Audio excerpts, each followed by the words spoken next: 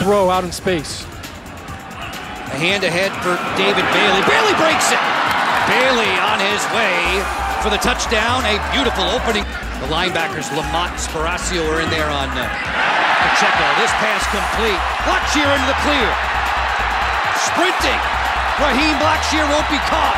Touchdown.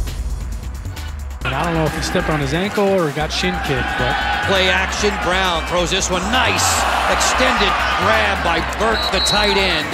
The do-it-all tight end for the Eagles made a terrific one-handed catch. you don't get credit for it twice. But look at this, tips the ball to himself. In goal for the BC Eagles. Dillon over the top. Touchdown, Boston College. Dillon finds just enough room by land or ground. All ACC first team back with Korab Adrizi ahead of him. Dillon, touchdown. A.J. Dillon from four yards out. You know what? We don't think you could stop us. We're pull, pulling our big left guard, Zion Johnson. Melton in motion. Art Sitkowski flush to his left. Running for cover, just flails this one high in the air. Jump ball. It's picked off. Intercepted. Boston College's Mike Palmer with a pick.